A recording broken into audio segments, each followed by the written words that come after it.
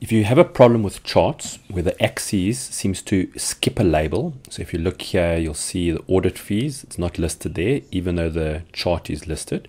So there's two ways to fix that. One way is if you just resize the chart, it can normally come back. But another issue, if that doesn't work, you can right click on it, say format axes, this will appear. And over here, if we click on labels, sometimes you'll see I can actually specify the interval level. So at the moment it's one, that's what we want if we want every label.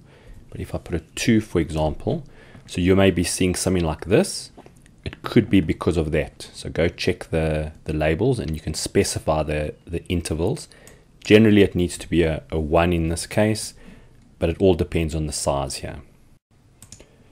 This is slightly different when it comes to dates. So here we've got a bunch of dates. You can see I've got third, fourth, fifth. Third, it's not showing the fourth and the fifth. Now you've got to be a little bit careful. So I'm going to right click on it, go to format axes. If I do the same thing, I go to labels. Notice those options aren't available. That's because Excel has guessed that this is a date.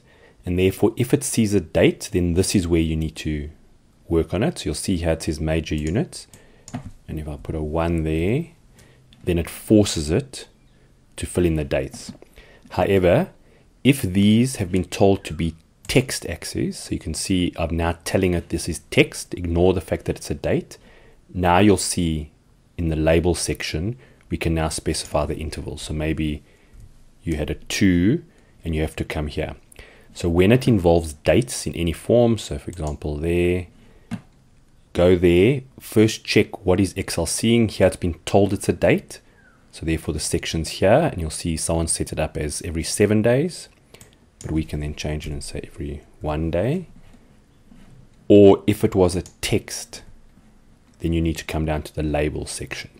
So for normal labels, it will be here and in the label section. But when it involves a date, you just need to look here how Excel is treating the date. Does it recognize it? And if it does, you'll have to make the changes here.